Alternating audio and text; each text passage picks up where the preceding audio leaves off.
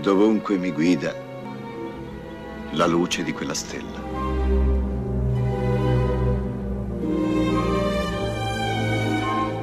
La Basilica di Sant'Eustorgio a Milano, nelle immediate vicinanze di Porta Ticinese, dietro la facciata ottocentesca, nasconde una storia affascinante e misteriosa del Medioevo profondo che ci riporta alle origini della cristianità. Quando nel 343 il vescovo di Milano, Eustorgio, fa ritorno da Costantinopoli con le reliquie dei tre re magi, dono di Elena, madre dell'imperatore Costantino. Elena, venerata come santa imperatrice dai cristiani, le aveva portate a Costantinopoli dalla Palestina insieme alla vera croce di Gesù. Per oltre 800 anni la chiesa di Sant'Eustorgio è la tappa obbligata per i pellegrini che dal nord si dirigono a Roma e poi a Gerusalemme. fino all'11 giugno del 1164, quando il cancelliere di Federico I di Svevia, detto il Barbarossa, rade al suolo Milano e svuota delle reliquie il mastodontico avello di pietra grezza nel quale sono conservate. Troveranno posto in una sfarzosa arca della cattedrale di Colonia, a dimostrazione della legittimazione divina del nuovo potere imperiale.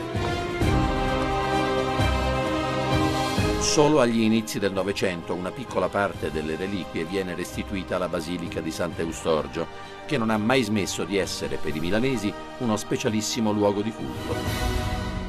In questa parrocchia si vive una storia veramente eh, profonda perché eh, sono pietre vive, noi abbiamo un'eredità, l'eredità di Eustorgio, che non è solo quella di monumenti ma è una chiesa viva.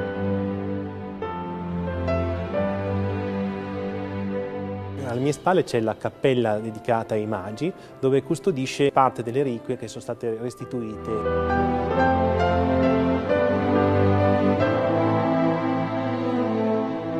C'è un bellissimo bassorilievo in marmo dove viene rappresentata l'adorazione dei magi.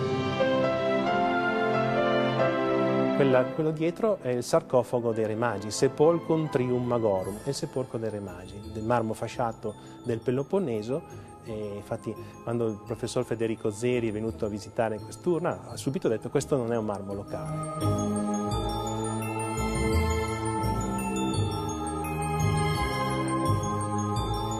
Ecco, la quinta colonna riproduce proprio il trasporto di questa grande urna, con due buoi davanti e un carro dietro. Arrivati qua, i buoi si fermano, non vogliono andare neanche un millimetro avanti Eustorgio dice è giusto che costruiamo proprio qua la cappellina.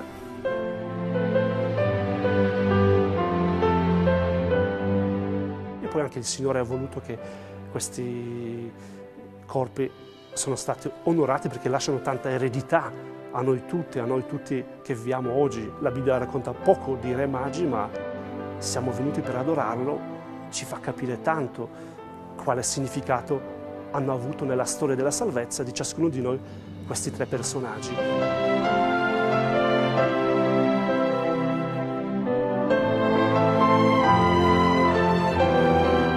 Questa adorazione, questa manifestazione hanno riconosciuto Gesù che è presente nella nostra vita.